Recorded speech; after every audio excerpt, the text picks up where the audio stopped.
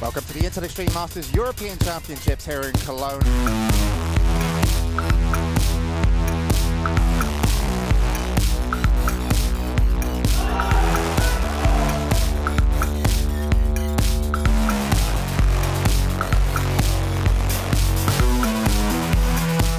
You know exactly where he is. He's going to be here on the site. There he will take down Robin. He's Oh, looking for look Crystal and will find him. Tixo and Caprio there. We won the first map in the grand final now. It's looking good.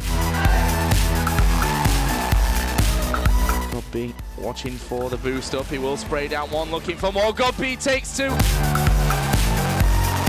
And Roman will get the finishes frag.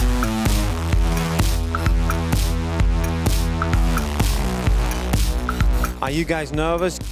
Nah, we're gonna win against Hydra. And uh, there go, he's going to switch to Frost Presence. And actually, they've even got a Cyclone off onto Hydra. We are here for the World of Warcraft Grand Finals. Nunia right now into the center. You can see Fraki off on the far end, and he will go down. Didn't keep him in place, so Hamstring was a little bit late there, but it looks like it doesn't matter. And down Hydra goes. We've got so many players in the studio.